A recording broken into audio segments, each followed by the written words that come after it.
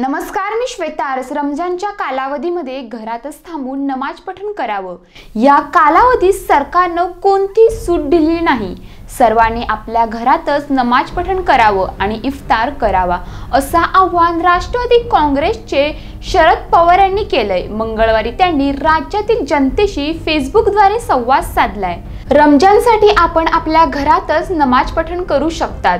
सरकारकडून रमजानसाठी सूट देण्यात आलेली नाही अशी परिस्थिती जेव्हा निर्माण होते तेव्हा सहकार्याची आवश्यकता असते. रोजा सोडण्याची जेव्हा वेळ असेल तेव्हा घरातच रोजा सोडा असं शरद पवार यांनी यावेळी म्हणाले. केंद्राच्या सूचना पाळण्याची खबरदारी आपण घेतली तर कोरोनावर आपण मात करू शकतो. तीन मे पर्यंत अजून बारा दिवसांचा कालावधी आहे. या काळात आपण काळजी घेतली तर तीन मे नंतर परिस्थिती बदल होईल. नियमावली शिथिलता आणण्याचा निर्णय कदाचित घेतला जाईल याबत मनात शंका नाही असं मत त्यांनी व्यक्त केलं. काळजी घ्या अजिबात बाहेर पडू नका असंही त्यांनी नमूद केलं. तुम्ही पाहत्रा विकास समाचार ध्यास ग्रामीण विकासाचा नमस्कार.